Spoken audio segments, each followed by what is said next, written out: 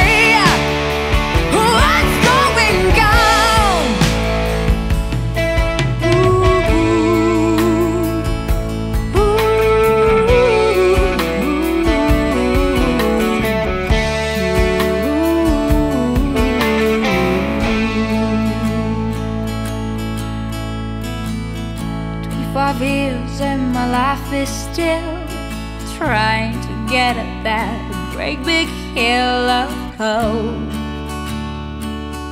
for a destination.